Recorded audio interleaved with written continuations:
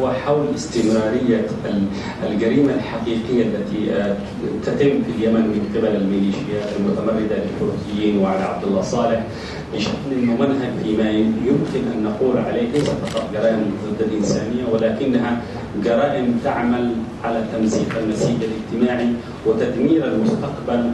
القادم لليمن للأسف الشديد، أقول هذا بكثير من الألم لمنح الانتهاكات التي تتم حاليا على صعيد مدن مثل تعز كنموذج ليس لها هدف غير تمزيق النسيج الاجتماعي، زيادة الشرخ الوطني بشكل كبير، زيادة معاناة الناس بشكل لا يمكن لنا أن نتصوره. خلال ستة أشهر هناك حصار مطلق على مدينة فيها على الأقل ما لا يقل عن مليون نسمة يعانون من حصار كامل للمياه والغذاء والأدوية وانتهاك ممنهج في مسألة قصف هذه الميليشيات للأحياء السكنية المكتظة بالمدنيين العزل بشكل كبير. خلال الشهر الماضي على الأقل هناك